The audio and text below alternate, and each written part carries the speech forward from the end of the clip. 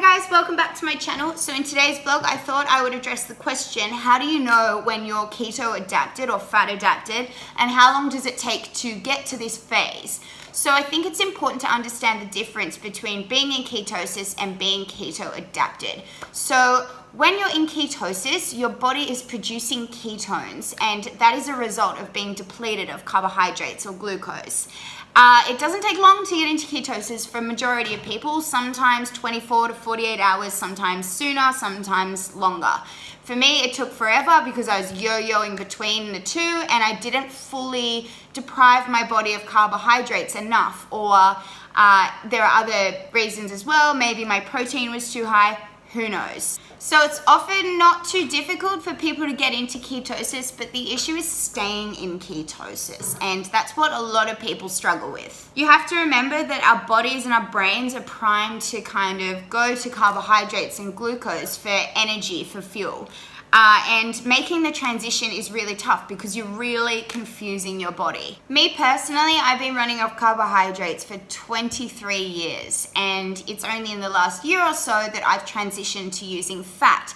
So when I first started the diet, my body was really confused on which energy source to use. And so depleting the glycogen stores, it's then kind of got no choice but to go to the fat stores for energy. In the early stages of the diet, you're so sensitive to carbohydrates. So if you're exposing your body to even a few grams too many, it's going to take those carbohydrates and use it for energy. A lot of people fall into the keto flu and other horrible symptoms because they're not providing themselves with enough fat to replace the glycogen which was previously used for fuel. So when you are in ketosis, in the initial stages of the diet, it's going to be so easy to fall out. So therefore you wanna aim for keto adaptation so that doesn't happen. Keto adaptation on the other hand means that your body is efficiently using fat for fuel over glucose.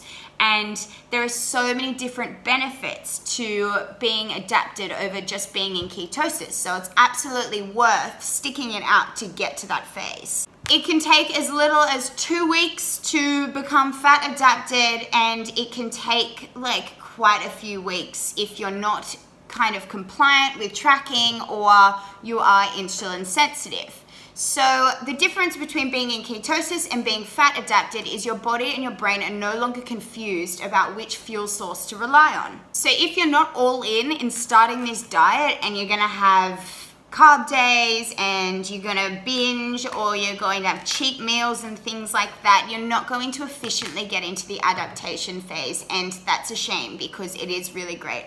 talk about of the benefits of being adapted. So the first one, and a lot of people would love this one the most, is appetite suppression. So once you're fat adapted, you're not hungry anymore. You can make informed decisions about what's going onto your plate and what's going into your body. There's no hangry moments, there's no irritability about food, nothing like that.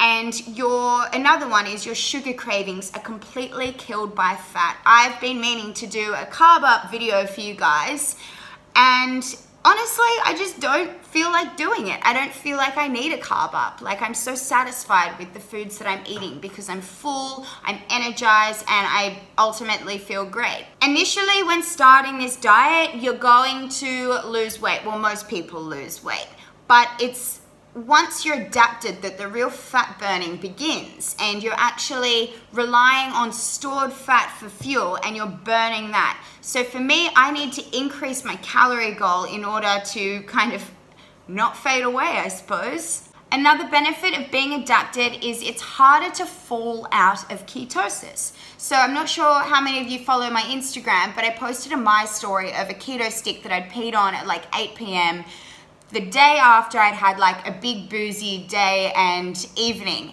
and I was still deep in ketosis and that kind of like blew my mind. I knew that I was adapted and that was something that would happen but it was just so interesting to see the color on that strip like after I'd had such a um, such a big weekend it's just so interesting to see how resistant I am now to carbohydrates and how my body will always fall back on that fat source over the carbohydrate source now.